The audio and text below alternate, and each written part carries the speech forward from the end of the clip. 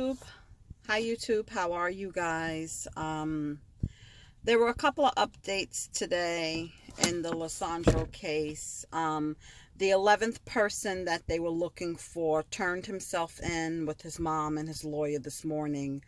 Um, he did not go into the bodega. He did not participate in the knife attack, machete attack, but he is still being charged with all of the charges like the other uh, gang members because he did participate in the chase. So that's fine, okay? However, I want charges brought against that young lady who told the lie. And I don't know what's taking them so long. If you haven't, um, in my last video, I told you guys about a petition that is on the Lesandro Jr. Guzman Facebook page. Um, I'll check back to see how many signatures they have. And she should be charged. There have been people that have done jail time for conspiracy. They didn't commit the crime, but they were conspiring to, or they were about to, or they were going to. There have been people that have done serious jail time for stuff like that. If a person tells a lie that leads to someone else's murder,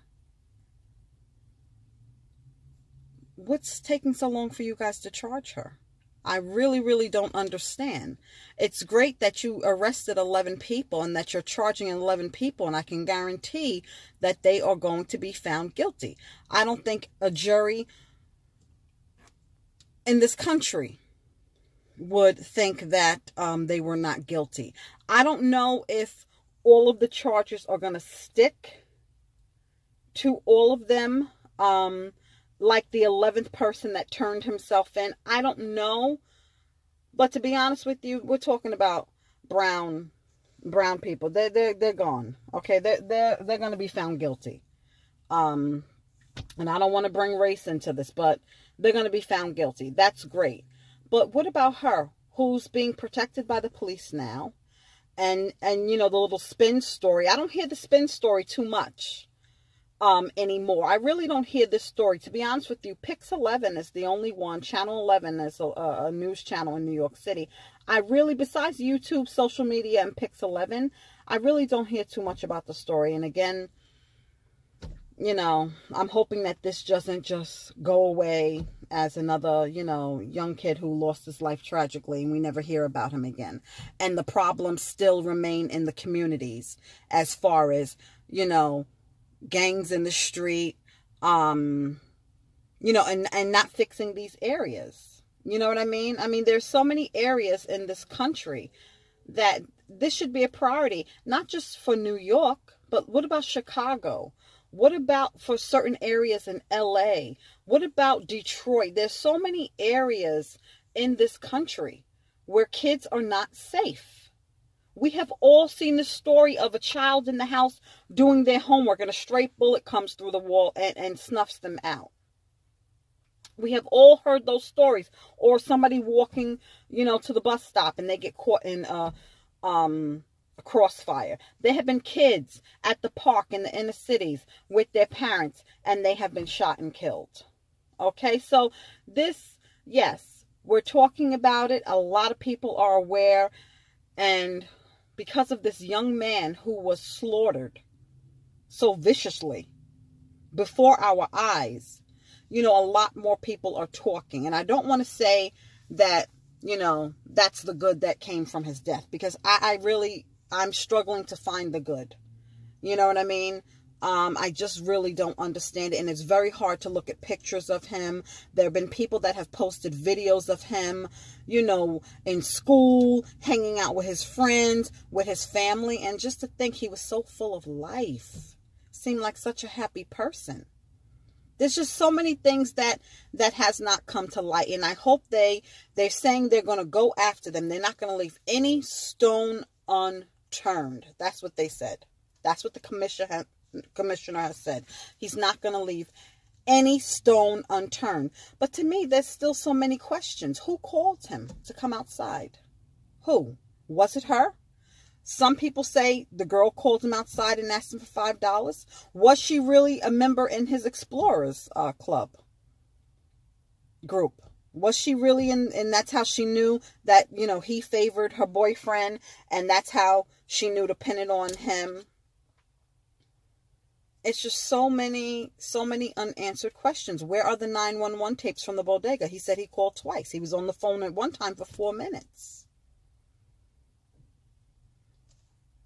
it's just so many questions and i know we can go over and over it every day but it's just it's just so tragic and it just really like i said it affected me. The week of his funeral i was in a bad mood all week. It really affected me. It's affected sleep. It has just affected me. It, it's consumed me. Um i don't know. I'm looking forward to going to see his murals again. You know it's not a happy reason to go to the city. Um, but um, the murals and the tribute to him and uh, is, I guess for the mother it has to be hard. You know what I mean? I don't know if she's eventually going to move out of the area.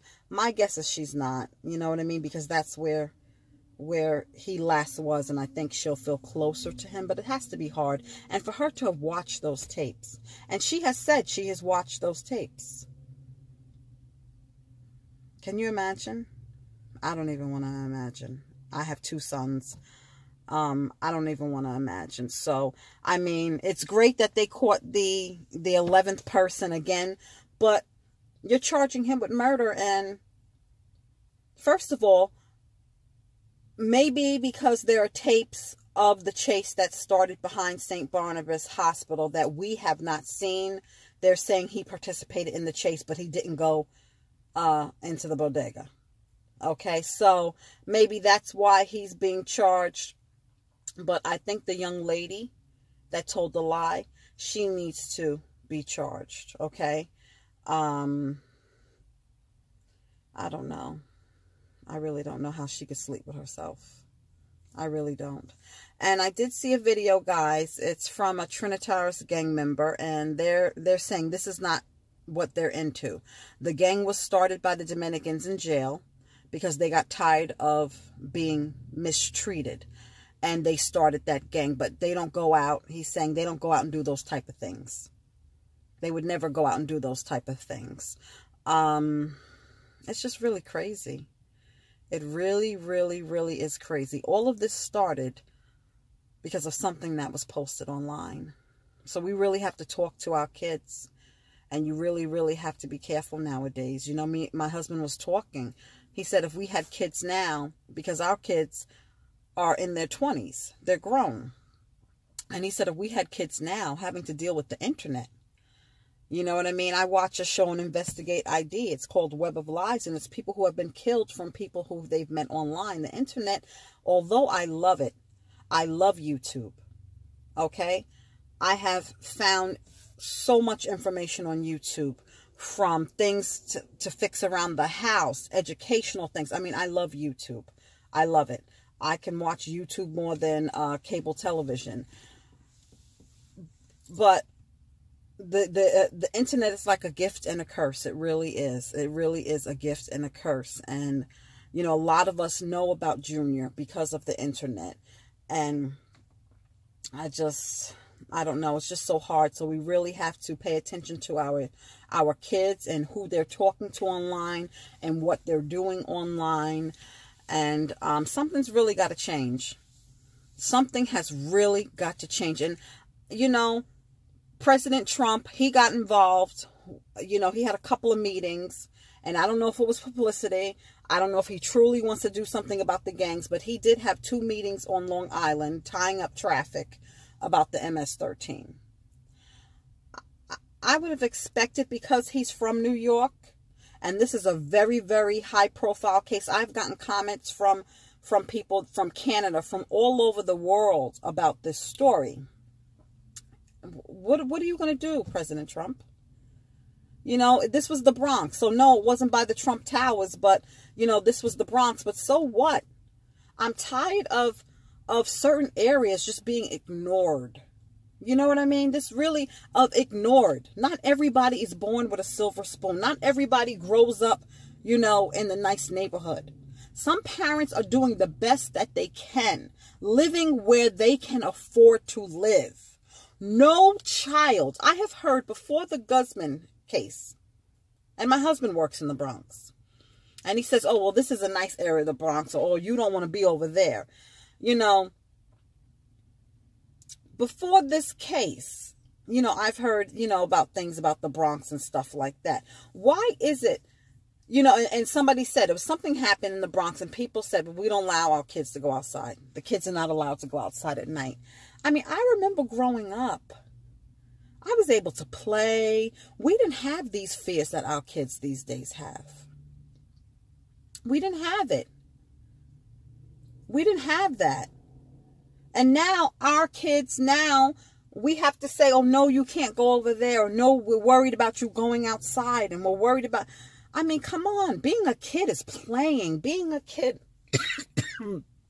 free from the stress of life. Not having to worry about bills. Excuse me. Work and all that. That's what being a kid is about.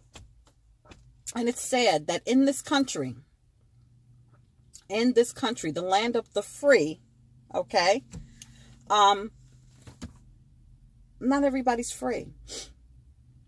Not everybody's free. Not everybody's treated equally. Not every neighborhood is treated equally. Even for me living on Long Island, in my community, we need youth centers. But you go to more prominent areas and they have a, a rec center for the kids. They have things for the kids to do. I don't know. Trump, you want to make America great again? We need to make America safe again. Okay? I understand you want to, keep, you know, terrorists out and stuff like that, but there are people being terrorized in their own communities where they live and work every day. Junior, he lived in that neighborhood. He ran in that bodega asking for help and was turned away. And and even watching that really makes me mad. I seen the video again today, guys. And it really, sorry, I'm sitting in my car. I seen the video again today. He's saying he helped him. As they were dragging him out, and you've guys seen, he was like, somebody peeked their head out while he was being cut with that machete. Horrible and they have surveillance inside the bodega. So when he was being um, assaulted and butchered outside, if he was on the phone with 911, shouldn't he be on camera with the phone on 911? Where the damn tapes? Okay. I don't want to ramble, guys, but this is really, really, really upsetting. It really, really is upsetting me. So we got the 11th person arrested. So we need Stephanie arrested. We need her charged. Okay? I'm sure they can come up with the crime. I'm sure if you don't want to charge her with murder, I'm sure that there's a crime for what she did. Okay? So, thank you for watching. And we'll see what happened, guys. Justice for Junior. May he rest in peace.